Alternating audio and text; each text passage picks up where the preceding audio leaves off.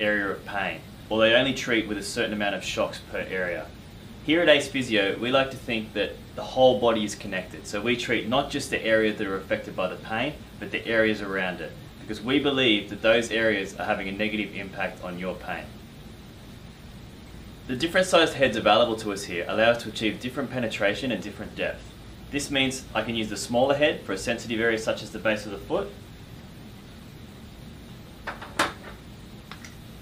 and the larger head when treating the calf.